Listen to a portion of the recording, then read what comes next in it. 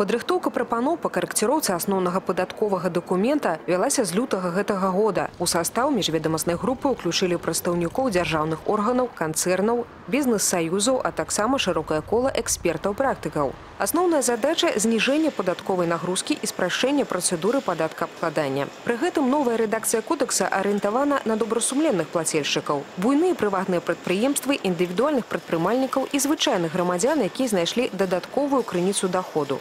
Апошнім цяпер дастаткова проста падаць заяву ў падатковую інспекцыю. это обеспечение, э, скажем так, наших граждан э, самозанятостью.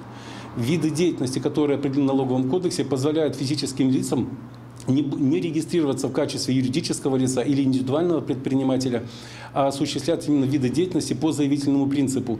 Любое физическое лицо, кото- которое не имеет никаких ограничений по осуществлению деятельности, ну, например, по государственной службе, может уплатить налог и получать дополнительные, скажем, доходы для э, себя лично. Апрача таго, для фізічных асоб прадугледжана яшчэ адно новае ўвядзенне. Згодна з новай рэдакцыяй кодексу, пры падачы дэкларацыі аб даходах супрацоўнікі падатковай інспекцыі часткова запоўніць гэты дакумент самастойна. Грамадзяніну застанецца толькі ўнесці дадзеныя, якіх няма ў інспектараў. Што тычыцца індывідуальных прадпрымальнікаў, то для іх адно з галоўных новаўвядзенняў магчымасць самім выбіраць від падатку, адзіны спрошчаны ці падаходны. Пры гэтым самі прадпрымальнікі ўжо сёння агучваюць просьбу аб правядзенні з імі спецыяльных заняткаў па падатковых новаўвядзеннях. Пачатак наступнага года не павінен стварыць для іх дадатковых праблем.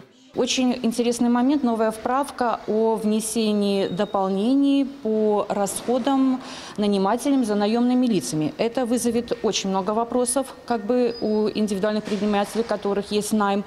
Поэтому мне бы, конечно, хотелось бы попросить налоговой инспекции местного городского уровня провести широкомасштабные, полномасштабные встречи, разъяснительные с нами предпринимателями или с представителями предпринимателей для донесения новых условий работы в рамках нового налогового кодекса с 1 января 2019 года.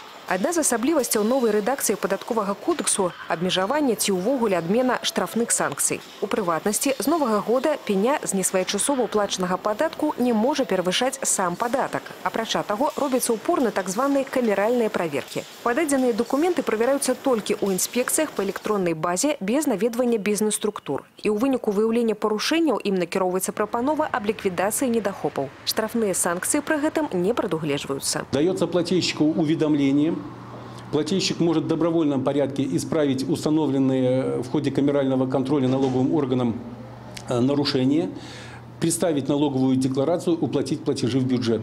Здесь, э, соответственно, нет э, того периода большого, на который может быть начислена пеня, и, соответственно, нет административной ответственности.